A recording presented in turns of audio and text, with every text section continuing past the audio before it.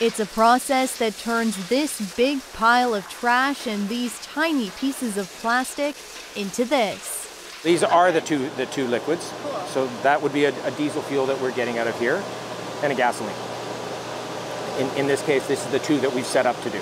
Plastic is just like oil, and it came out of the ground at one time the same way.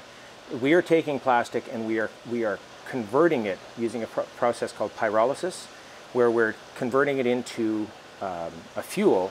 Fuel that's already being used in trucks. And the hope is to bring this technology beyond Whitby.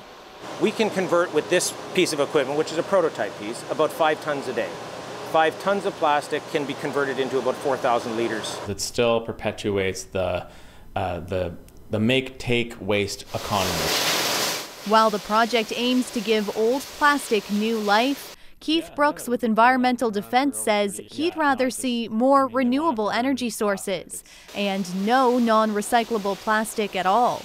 We think that we need to do much better on recycling. I mean, Canadians now have woken up to the fact that we are failing quite dramatically on recycling. We recycle 9% of the plastics used here in, Canada. But as plastic waste continues to wash up on shores across the country, O'Bireck says this is one way to deal with it. We're giving plastic another chance because if you take plastic as it stands, it's going to go in the ground, it's going to sit there for a thousand years.